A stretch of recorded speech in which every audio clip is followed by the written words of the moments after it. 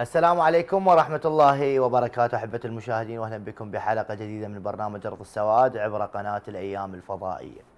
طبعا المحور اليوم المحور يخص نجاحات الفلاح العراقي. طبعا بدايات الموسم لما زرعوا الزراعة الاستراتيجية خاصة ونحددها أكثر القمح آه، كانت أصوات تشاؤم كبيرة جدا وأنه هذه السنة ما راح نعبر المليون ونص طن من الحنطة. وهذه السنة خلاص انتهت الزراعة وإلى إلى إلى يعني حقيقة كلام كان بتشاؤم كبير جدا. حقيقة إحنا أيضا ركزنا على هذه المواضيع على توقعات بعض الخبراء أن الموسم راح يكون موسم شحيح موسم غير جيد موسم ما راح نوصل إلى حتى نصف موضوعة الاكتفاء الذاتي. ولكن لما نشاهد اليوم الأرقام الكبيرة اللي قاعد تعلن تسويق الحنطة الكبير في مختلف العراقيه بمختلف المحافظات وبعد أكو محافظات هسه هذه الأيام يلا دخلت بموضوع التسويق. حقيقة الأرقام تبشر بموسم خير موسم كبير جدا. رغم أنه كانت يعني الأشهر الماضية قبل تشكيل هذه الحكومة كانت يعني يعاني الفلاح من أسوأ ظروف بقلة الدعم بكثير من الظروف اللي كانت سيئة المطبات الكثيرة من خلال زراعته وتوقعنا هذه التوقعات السيئة. ولكن اليوم تغيرت هذه البوصلة من التشاؤم إلى التفاؤل. النجاح ممكن نحققه ولكن كيف نحافظ على النجاح بالمواسم القادمة؟ راح نناقش كل هذا الشيء مع الأستاذ محمد الخزاعي المتحدث الرسمي باسم وزارة الزراعة. أهلا وسهلا بك. حياكم الله وأهلا ربي يخليك. يعني. أستاذ محمد خلي أرجع لبداية حديثي. اليوم الفلاح بكل هذه المعاملة. اليوم حلقة خاصة عن النجاحات الكبيرة اللي تحققت. الفلاح كان متشائم. أكثر آه، كثير من الخبراء قالوا هذا موسم حيكون موسم سيء بالإنتاج. كيف تحولت البوصلة إلى إيجابية بهذا الحد؟ بسم الله الرحمن الرحيم. شكرا لك وحياك الله وحيا الله مشاهدي قناتكم. طبعا الكل يتذكر أن الظروف آه، التي كانت تحيط بعمل الوزارة آه، التوقعات المتشائمة واقع حال سيء كان آه، سنوات ثلاث ماضية كانت لا تبشر بخير مواسم مطرية كانت بائسة إطلاقات مائية مشاكل بها كثيرة وقلة في هذه الإطلاقات المائية. وصلنا إلى مرحلة لربما أعلنت وزارة الموارد المائية في فترة من الفترات أن هناك صعوبة في تأمين متطلبات المياه الشرب هذه الأمور آه، جعلت من الظروف المحيطة بعمل وزارة الزراعة ظروف صعبة جدا. نعم. لكن آه، الظروف الأهم هي المتغيرات الإقليمية اللي تحيط بك يعني الحرب الروسية الأوكرانية آه، صعوبة تأمين محصول الحنطة اللي هو المحصول الاستراتيجي الأهم على مستوى العالم. يعني كثير من البلدان شهدت عدم استقرار حتى سياسي نتيجة التأخر في إيصال المحصول نتيجة انقطاع الإمدادات أو الطرق. هذه الأمور دفعت وزارة الزراعة إلى تقديم الأهم على المهم. اليوم أنا كيف أحقق آه، متطلبات الأمن الغذائي. للناس في ظل هذه المتغيرات والظروف الصعبة. آه، أقرت الخطة الزراعية آه، بالتنسيق مع وزارة الموارد المائية طبعا التي كانت لها الكثير من الخطوط الحمر فيما صحيح. يتعلق بالتوسع في المساحات التي ستزرع والتي ستشمل بخطط الدعم على اعتبار أن هنالك مشكلة ستواجهنا في تأمين المياه نعم. الخاصة بخطة الاستزراع للشتوى طبعا حقهم نعم. لكن مثل ما أخبرتك أنه هنالك أيضا آه، تحدي أكبر ألا وهو تحقيق الأمن الغذائي إحنا نعرف أن العراق يمتلك خزين هائل من المياه الجوفية لتعويض النقص الحاصل في المساحات نعم. الزراعية التي تروى بمياه الأنهار تم إقرار 4 مليون دونم أراضي صحراوية مشمولة صحيح. بخطة الدعم تروى بمياه الآبار وتستخدم بها تقنيات الري لترشيد وتقنين استخدام المياه فضلا عن ذلك أقرت 4.5 مليون دونم طبعا أضيف لها فيما بعد مليون دونم بعد, بعد ما رأينا أن هنالك يعني مبشرات وأن هنالك موسم مطري يدعو إلى التفاؤل آه، كان المجموع 8.5 مليون دونم شملت بخطط الدعم. أيضا لم يكتفى بإقرار هذه الخطة الزراعية وإنما كان هنالك توجه وإرادة لدى وزارة الزراعة باستخدام كل واستغلال كل مواردها المالية لزيارة الدعم المقدم إلى نعم. الفلاح. يعني الفلاح إحنا نعرف أن المواسم الماضية دفع ثمن كبير نتيجة أول مرة عدم آه، إقرار خطط زراعية تقوم على أساس التوسع بالمساحات المزروعة نعم. قلة الدعم المقدم إليه والفلاح دائما يعني يعاني آه، من مثل هذه الظروف آه، زيلة الدعم المالي أولا والدعم الخاص بالكميات مثلا الأسمدة زيد الدعم المقدم لها من 35% إلى 50% صحيح.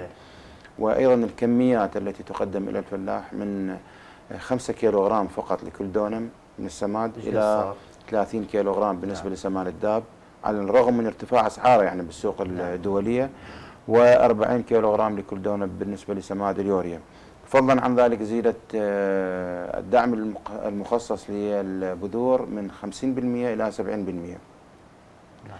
لم يكتفى بذلك بل صدرت قرارات من وزارة الزراعة وأقرت فيما بعد بمجلس الوزراء آه، تتعلق بتبسيط الإجراءات إحنا نعرف أن الفلاح دائما ما يعاني آه، بعد عمليات الحصاد في تسليم المحصول إلى نعم. مواقع الاستلام الكثير من الإجراءات الإدارية التي تؤخر أولا كانت حلقة صعبة حلقة صعبة يعاني منها الفلاح صحيح. دائما آه، الكثير من المحاصيل لا تستلم تأخر في تسليم المستحقات المالية ظروف صعبة دعت الفلاح في كثير من الأحيان إلى نعم. أن يضطر لأن يبيع محصول آه، سنة أو موسم كامل إلى التاجر الذي يشتريه طبعا بسعر زهيد بالنسبة نعم. إلى سعر الرسمي أستاذ أحمد راح نتحدث بتلك المواضيع أكثر وأكثر وندخل بجزئيات مهمة جدا ولكن خلونا نشاهد هذا الفيديو اللي معلومات عن موسم الحصاد وبعض النجاحات اللي تحققت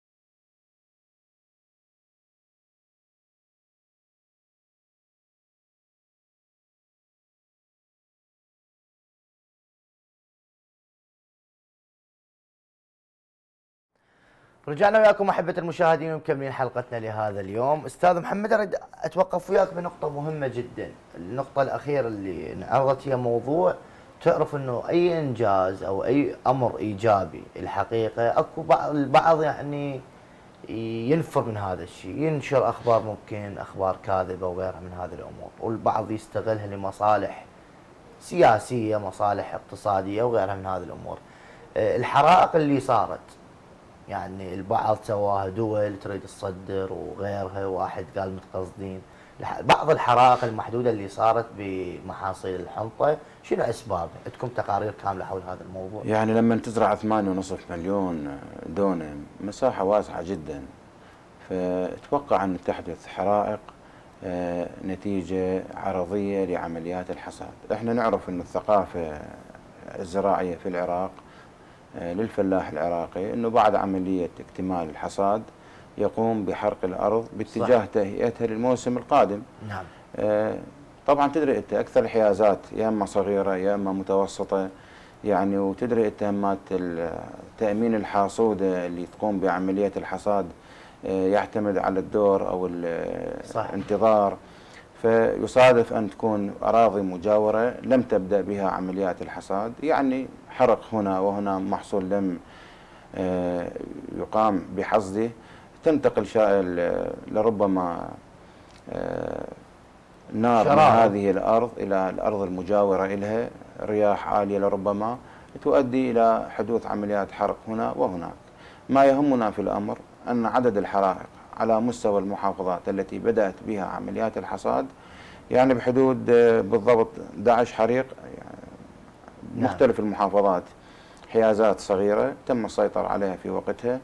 لم يثبت أن هنالك حد يعني حريق مفتعل أو آه، متعمد. آه، ومع ذلك عمليات الحصاد مستمرة على مستوى المحافظات.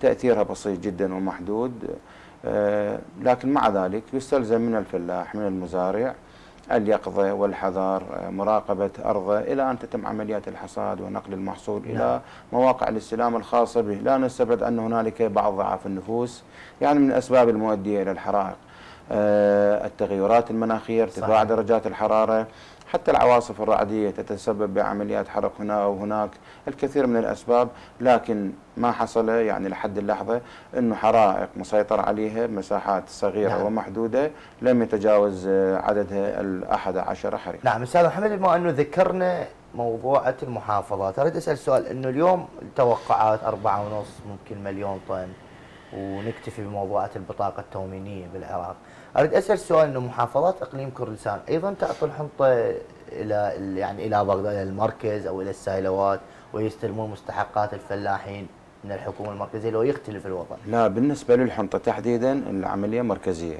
واليوم بالمناسبة كان هناك وفد من آه، حكومة إقليم كردستان آه، يعني اجى لوزارة الزراعة نعم. التقى به السيد الوزير ممثلي الوزارات المعنية مستشار آه، في د- لرئا- لرئاسة الوزراء نعم. أيضا كان حاضر فيما يتعلق بتحديد المساحات التي ستزرع الموسم القادم بالنسبة ممتاز. لمحصول الحنطة نعم. وتحديد الكميات التي ستستلم التي يعني الأراضي التي ستدخل في الخطة الزراعية. وكان هنالك يعني تنسيق كامل بين المركز وبين الإقليم. بالنسبة للحنطة آه، العملية التي تدار تدار مركزيا من قبل الحكومة المركزية ومن قبل وزارة الزراعة بالتنسيق مع حكومة مهمة مع وزارة الزراعة في حكومة إقليم كردستان. نعم. يعني لأن أهمية كبيرة جدا للزراعة. طبعا. محصول الحنطة بالذات محصول مهم جدا يتعلق بتحقيق الأمن الغذائي للبلد بكامله. يعني في حالة لا سمح الله حدوث مثلا شحة في أحد المحافظات هل ممكن أن تمنع إجراءات إدارية معينة عن تزويده من محافظات أخرى؟ لا طبعا. بالنتيجة هذا الخزين هذا المحصول على يعني الجمع للعراق سيكون آه، متاحا لجميع المحافظات حسب احتياجها ممتاز. طبعا احبه المشاهدين مثل ما عودتكم قناة الأيام الفضائية وبرنامج أرض السواد إنه يذهب اليوم إلى الفلاح ويتكلم معاهم. جوله قناة الأيام الفضائية بأحد مزارع الحنطه المنطقة الفاصلة بين بغداد ومحافظة واسط وكانت موسم الحصاد بادي ومشتغل. خلينا التقينا مع بعض الفلاحين خلينا نشوف آرائهم وراجع اللي يحصل حصل واللي ما حصل ظل يتانى رب العالمين. والسنة إن شاء الله رب العالمين. يا ما رب قصروا الحمد وياها لله. والشكر. اللي هم خسرت. الدولة ما يعني, يعني ما- اليوم الكميات اللي نشاهدها اليوم هي لولا الأمطار. الله رب العالمين. يعني. بالنسبة هذا اللي قاعلون سقى مرين وما سقى نص ونص. زين. فصار يدب له ثلاث وزنات أربع وزنات لأن مرة واحدة وظل على رب العالمين. واللي ما سقى يمكن هسه جاي. يشوف أنت يجوز بيه لو ذب وزنه.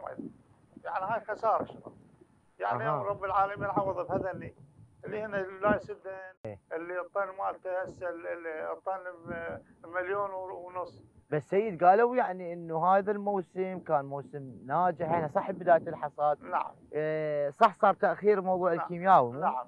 كيمياوي صار عليه وصار على شحة المياه اللي والماء هذا النهر ما قضى المزارع اللي عليه ما قضى هذا قاعد له حصة هذا الأرشن هذا.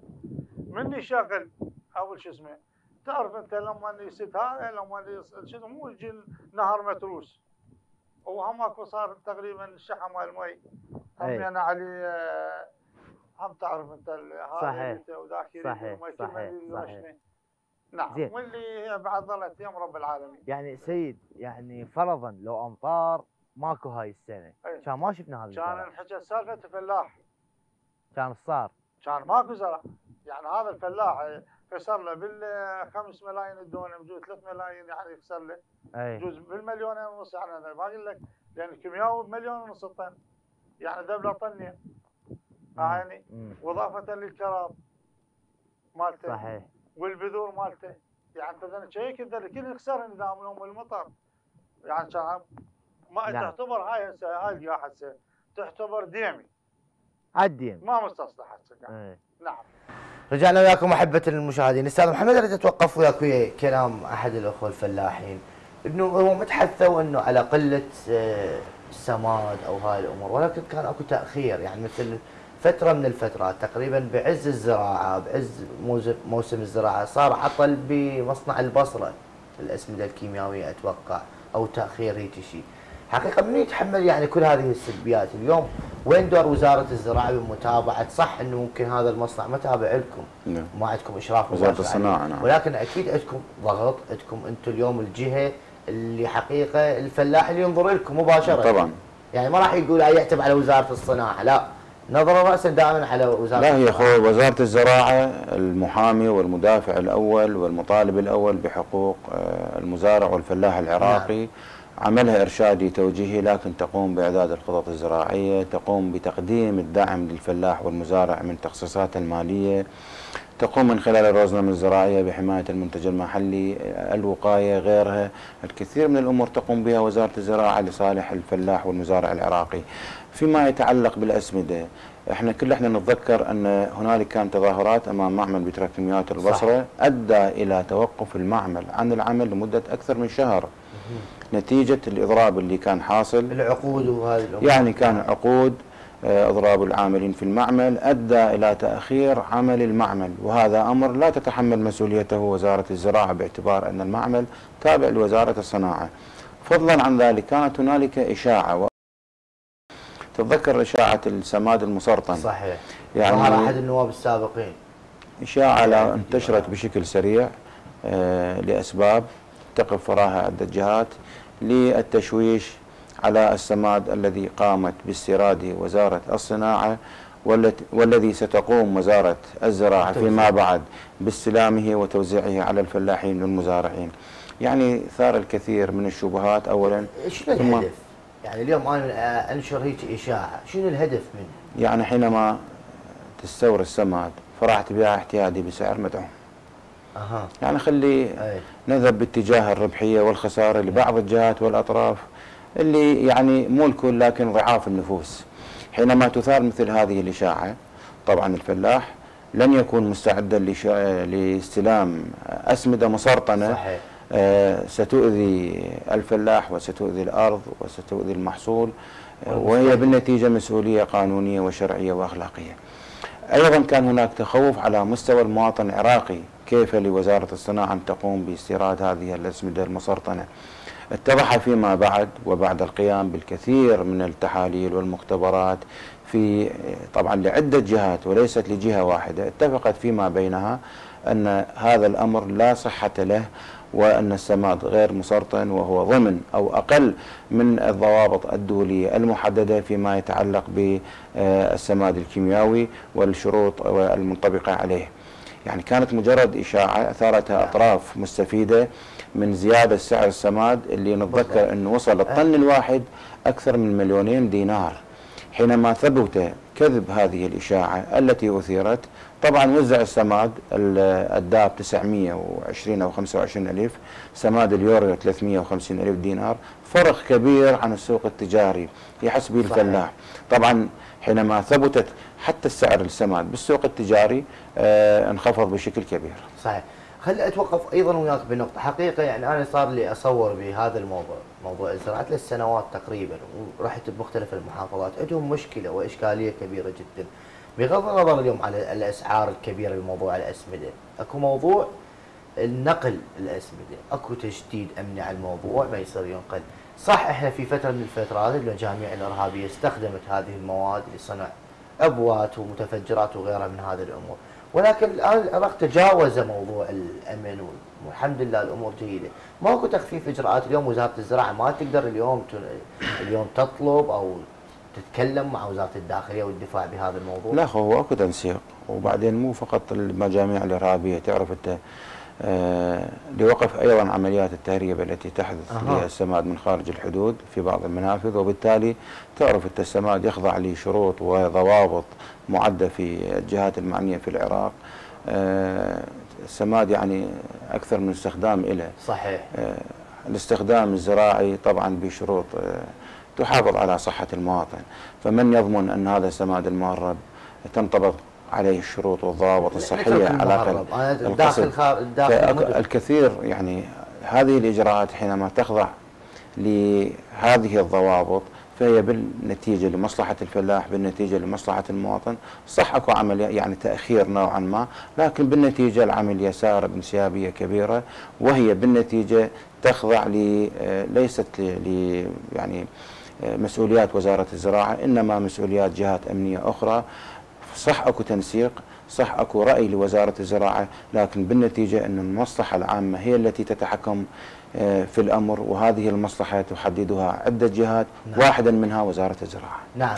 آه، طبعا أريد أعرف يعني اليوم ردة فعل معالي الوزير وزير الزراعة حول النجاح هذا اللي تصير يعني هل إنه راضي على هذا الأداء؟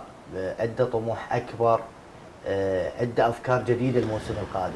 يعني اليوم في جلسة المجلس الوطني للبذور تفضل معالي الوزير قبل بدء الجلسة بتوجيه كلمة شكر إلى جميع وكل من ساهم في إنجاح الموسم الزراعي الشتوي آه الذي وصلنا فيه إلى مراحل الحصاد التي وصلت إلى مراحل متقدمة وتقديرات شبه مؤكدة بوصولنا إلى مرحلة قريبة من تحقيق الاكتفاء الذاتي. أقول قريبة يعني أكثر من 90% تأمين حاجات العراق فيما يتعلق بتأمين متطلبات البطاقة التموينية من محصول الحنطة. حينما يوجه كلمة الشكر يعني أكو هناك حالة رضا تعرف الظروف التي أعدت بها الخطة الزراعية في بداية الأمر.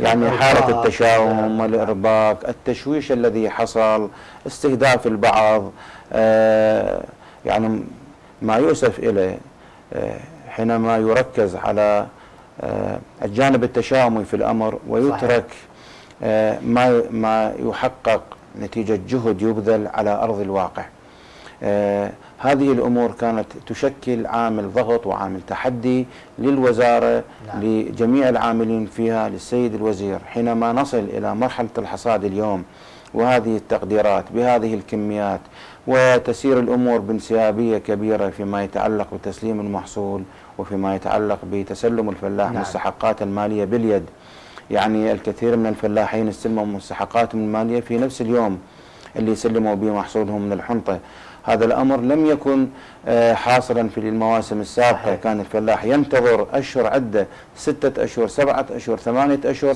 حتى يتسلم أو سنة في نعم. بعض الحالات حتى يتسلم مستحقات المالية. وبالتالي يضطر الكثير من الفلاحين إلى عدم تسويق المحاصيل وبيعها نعم. إلى التجار بأسعار بخسة حتى لا تسدد متطلبات آه، الكلف المالية فعلا فعلا لعملية الاستزراع. نعم. طبعا أحبة المشاهدين أيضا كان عندنا لقاء آخر مع بعض الفلاحين وتحدثوا عن هموم همومهم ومشاكلهم صح كانت هناك لغة الفرح لغة اليوم والتفاؤل بنجاح هذا الموسم ولكن أيضا عندهم طلبات يجب أن تحقق اليوم وتتحقق بالمواسم القادمة. خلينا نشاهد هذا الفيديو راجعين. خلينا ندخل إلى مرحلة قبل كانت تعتبر أحد كوابيس الفلاح وهو السايلو. لما يسلم الحنطة يقولوا له تعال. أخذ الصك بعدين ورا سنة يستلم فلوسه لحد ما الفلاح متداين وصاير عليه قروض ومضاعف وغيرها. هالسنة شنو التغيير؟ لا لا السنة يعني صراحة يعني للامانه يعني إحنا هسه صار ثلاث أيام بنفتح التسويق. يعني أنا البارحه سوقت خبر المدير سالوا قال تعال استلم الصك اليوم. على اليوم؟ أي نعم. ما شاء الله. أي نعم. اي وتسهيلات يعني كسائل إحنا سائل الرصافة.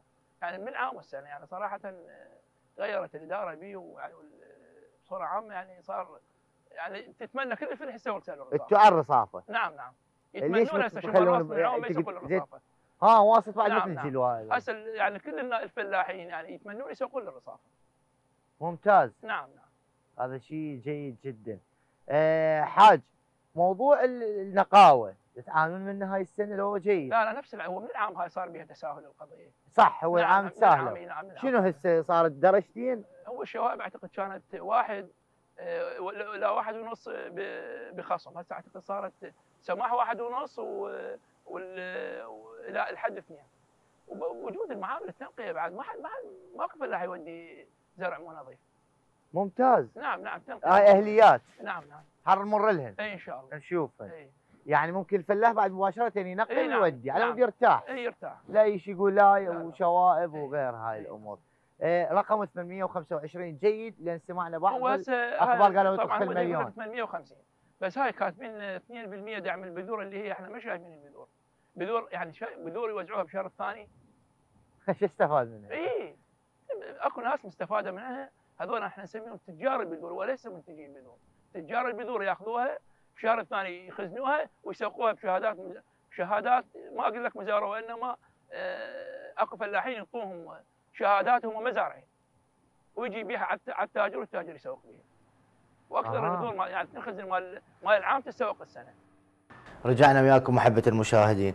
آه، أستاذ محمد نقدر نحكي على هذا الموضوع اليوم اللي نتكلم به على موضوع البذور ومسوقي البذور؟ شنو الاشكاليه اللي يصير به؟ أنا الحقيقة ما ما فهمت تفاصيل الموضوع تفاصيل الاشكاليه لا قصدك آه، إنه البعض يعني بعض الفلاحين يكون ما زارعين و- ويجي الغير. يعني يجيبون آه، حنطة. من السنوات الماضية موجودة يعني يسوقوها على اعتبار إنه حاصل السنة هذه طبعا هاي تخضع ل تكشف ال- نعم. لأن اللجان الموجودة في مواقع الاستلام تعمل طبعا بشكل دقيق لفصل هذه الحنطة وعدم استلامها في مواقع الاستلام يعني لتحقيق ربحية معينة تعرف سعر 850 ألف دينار للطن الواحد. سعر مغري هو سعر مزي آه، يعني مقارنة بسيطة مع دول المنطقة يعني في سوريا إذا ما تحسب سعر ال- طن الحنطة هو تقريبا 250 دولار أو أقل من هذا كذلك في نعم. إيران يعني العراق ضعف آه، أسعار اللي موجودة في الدول المجاورة. يعني سعر عالي ومزي بشكل كبير للفلاح خاصة في ظل خطة الدعم الذي آه، أقرت في مجلس في وزارة الزراعة آه، والتي تضمنت زيارة الدعم للأسمدة والبذور فيما يتعلق بالكميات والدعم المالي آه، سعر فعلا مزي آه، يمكن فاق السنوات الماضية يعني حتى السنة الماضية إذا كان السعر نفسيته فلم يكن الدعم مثل ما هو عليه في هذا الموسم لأن مثل ما قلت أن الدعم كان السنة الماضية صح. 5 كيلو غرام فقط. لكل دونم بينما السنة هذه كان 30 كيلو غرام للداب و40 كيلو غرام لليوريا يعني ثمانية أضعاف.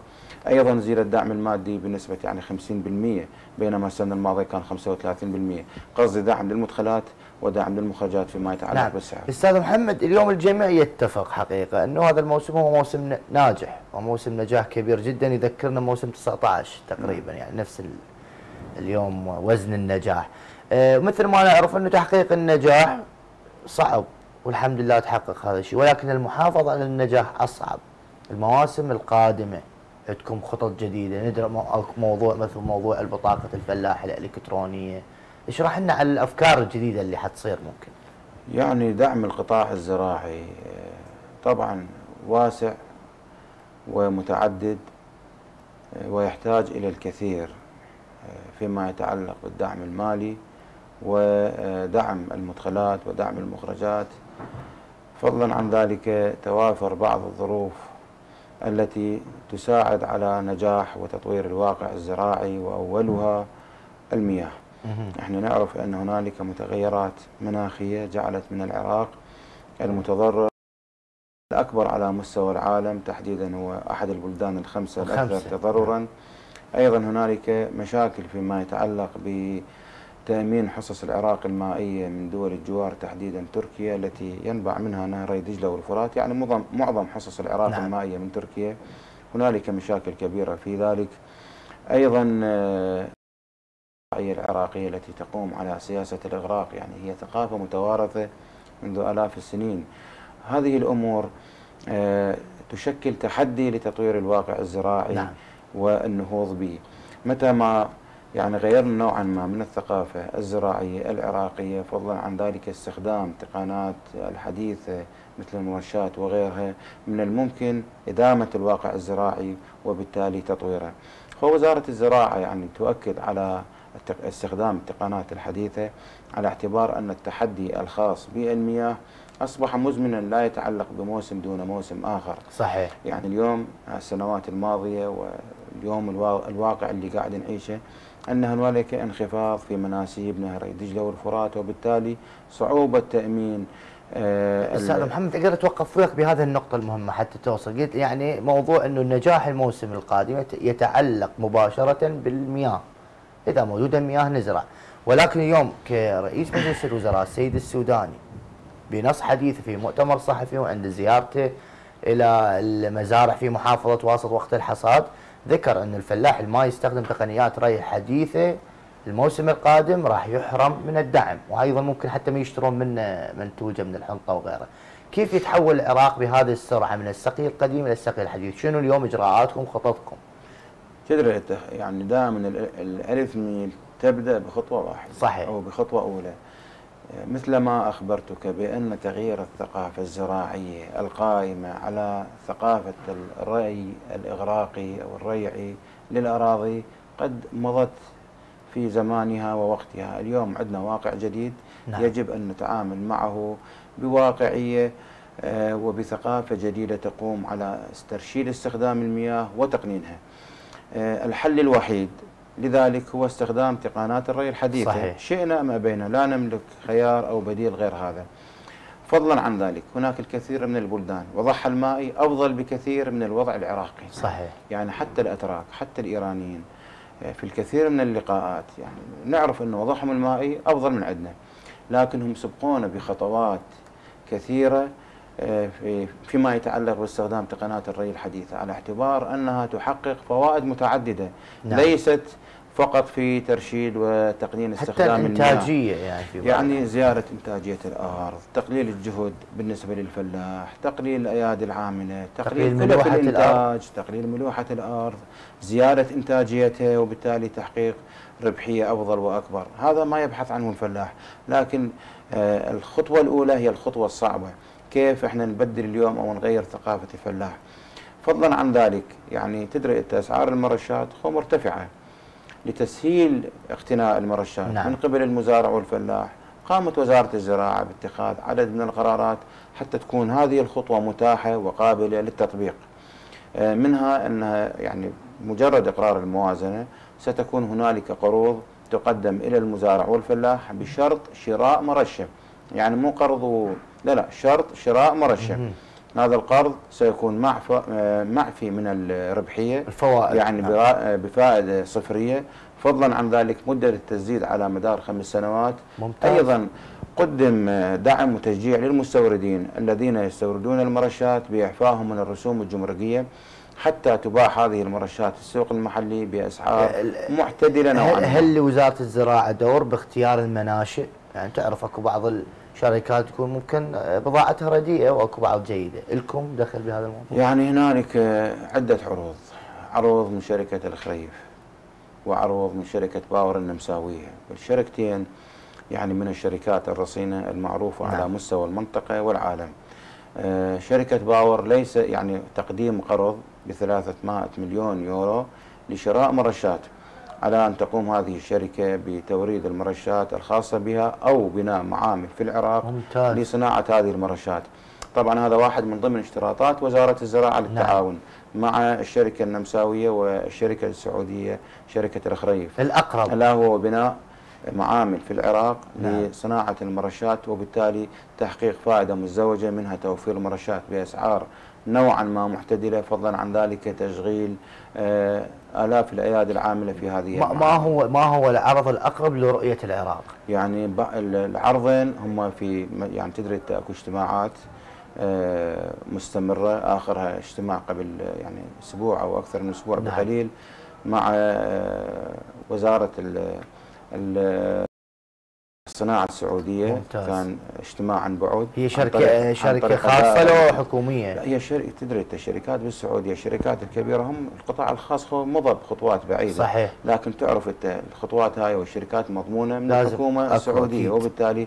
هنالك مباحثات مع الشركات بشكل مباشر ومع الحكومات المعنية في هذه الدول لتقديم الضمانات المطلوبة من قبل الجانب العراقي. يعني الخطوات من قبل وزارة الزراعة من قبل الحكومة إحنا نعرف لربما تكون المرة الأولى آه، اللي يكون بها المجال الزراعي أو القطاع الزراعي يشكل جانب الاهتمام الأكبر. من قبل الحكومة ممثلة بشخص رئيس الوزراء المهندس محمد الشاع السوداني صح والدليل جولات المكوكية في عدد من المحافظات لمتابعة عمليات الحصاد، فضلا عن ذلك آه، الجهد المبذول في وزارة الزراعة، الجهد ال- الذي يبذله السيد الوزير المهندس عباد جبر المالكي نعم. لمتابعة آه، أدق التفاصيل كان فيما يتعلق بتوفير المرشات أو متابعة عمليات الحصاد الإجراءات الروتينية الخاصة تسهيلها المشاكل يعني الكثير من الوفود التي تأتي من مختلف المحافظات نعم. تجد أن الباب مفتوح لتلقي كافة وهذا أهم شيء. محمد. كل هذا الحراك إن كان على مستوى الوزارة أو إن كان على مستوى الحكومة يمثل نقلة نوعية في الاهتمام بالجانب الزراعي تحقق في ظل الحكومة الحالية ممتاز طبعا أحبة المشاهدين أيضا عندنا فيديو من آه، من الأخوة في إعلام وزارة التجارة حول عمليات التسويق والتسهيلات اللي قاعد تقدم إلى الفلاحين خلينا نشاهد هذا الفيديو وراجعين رجعنا وياكم احبه المشاهدين ومكملين حلقتنا لهذا اليوم. آه، شاهدنا حقيقة يعني تحية لوزارة التجارة أيضا. يعني يجب اليوم نشكرهم على العمل الكبير اللي حقيقة بعض الصوامع 24 ساعة وصل العمل به لاستلام الحنطة. ماكو تأخير قبل كان الفلاح يطي اجور السياره الواقفة تبات أمام السائله يومين لو ثلاثة لو أربعة. فايضا عندكم لجنة مشتركة بين الزراعة والتجارة لو ماكو شيء لجنة. لا هو أكو تنسيق دائما يعني آه، كان بين وزارة الزراعة والتجارة وإن كان بين وزارة الزراعة ووزارة الموارد المائية وهذا اعتبره فد آه، شيء جديد يعني في التعامل بين هذه الوزارات فيما يتعلق بالتنسيق إن كان فيما يتعلق يعني في موسم الحصاد أو فيما يتعلق بإعداد الخطط الزراعية بين وزارة الزراعة والموارد المائية. كانت قبل يعني تتذكر أكو اتهامات متبادلة وتراشق. اليوم لا لا أكو حالة تنسيق. آه، نتيجة الجهود المبذولة يعني تعرف أنت الإدارة هي فن. اليوم آه، السيد وزير الزراعة والسيد وزير الموارد المائية حالة تفاهم مشتركة. ممتاز. على اعتبار تحقيق مصلحة عامة لبلد ولوطن ولحكومة يشكل جزء منها وزارة الزراعة وجزء منها وزارة الموارد المائية. إذا الكل يسعى إلى غاية وإلى هدف واحد وهو تحقيق المصلحة العامة. نعم. إذا هذا التنسيق آه، هو لفائدة آه، المواطن لفائدة الحكومة لفائدة آه، لزيارة الإنتاج للوصول إلى حالة نتجاوز فيها المشاكل الإدارية اللي كانت موجودة. نعم. يعني اليوم عندنا نجاح بزراعة الذرة ونجاح نجاح كبير بزراعة القمح. أكو حقيقة العراقي يسأل اليوم موضوع الشلب هل ننساه في ظل هذه الأزمات بعد ماكو شلب بالعراق؟ المواطن والفلاح العراقي يعرف أن زراعة الشلب زراعة صعبة وتعتمد على توفير آه، المياه بشكل مستمر ولفترات طويلة لمحصول الشلب. يعني مو مثل الحنطة تعتمد على ريات أو سقيات معينة. يعني محدودة ست أو سبع مرات نصل بها إلى رية الفطام وانتهى الأمر. آه، زراعة الشلب زراعة صعبة ومعقدة وهي تقوم على أساس أنت الري الإغراقي أو الفيضي صحيح صح المحصول اللي يستمر فترات طويلة. إحنا نعرف اليوم أن هنالك واقع في العراق يقوم على أساس ترشيد استهلاك المياه. يعني حتى نحافظ على استمرارية الواقع الزراعي لابد أن يكون يعني آه، اتخاذ بعض الخطوات نعم. يعني الصعبة فرضاً. حتى نضمن ديمومة هذا الواقع فرضا أستاذ محمد إنه الموسم القادم اعتماد الفلاحين بزراعه الزراعة الاستراتيجية ذره وحنطة وغيرها من هذه الأمور حيكون بتقنيات ري حديث. راح توفر كمية نقدر نستغلها لموضوع الشلب؟ يعني هو مو مثل المساحات اللي أكيد مو مثل قبل خاصة يعني. بزراعة الحنطة وزراعة آه، الذرة. آه، إحنا السنة الماضية تم زراعة عشرة آلاف دونم. آه، اليوم تقارير وزارة الموارد المائية واللي كل سمعها والكل شافها إنه الوضع المائي في العراق وضع صعب. نعم. بالنتيجة يعني التوسع في الخطط الزراعية الخاصة بزراعة الشلب يكون صعب ومجانب للواقع اللي موجود. لكن بالنتيجة هناك لجنة فنية مشتركة بين وزارة الزراعة ووزارة الموارد المائية تقوم بإعداد الخطط اللازمة على وفق التقارير المعدة في نعم. وزارة الموارد المائية طبعا وترفع إلى وزارة محمد. الزراعة أكيد يعني إحنا وصلنا لختام الحلقة والأخوة يقولون ولكن قبل الختام أكو فيديو قصير 22 ثانية تبين فرحة الفلاح العراقي بالمحصول الحنطة خلينا نشاهد هذا الفيديو انتشر في مواقع التواصل الاجتماعي وراجعين رجعنا وياك أستاذ محمد. نريد هاي الفرحة مستمرة المواسم إن شاء القادمة الله، إن شاء الله. إن شاء الله. طبعا كل التحية والشكر لك الاستاذ محمد الخزاعي المتحدث الرسمي الله. باسم وزارة الزراعة على كل هذه المعلومات وشكرا جزيلا لك حياكم الله واهلا. وسهلا الله يحفظك أستاذ. طبعا أحبة المشاهدين لها تنتهي حلقتنا لهذا اليوم ومن نجاح إلى نجاح آخر حقيقة الفلاحنا العراقي يستحق التحية. وأيضا الجهات اليوم الداعمة تستحق التحية من وزارة الزراعة وأيضا وزارة موارد مائية رغم الظروف الصعبة وأيضا وزارة التجارة اللي عملت عمل كبير. إلى هنا تنتهي حلقتنا لهذا اليوم نلتقيكم بحلقات أخرى. إلى اللقاء.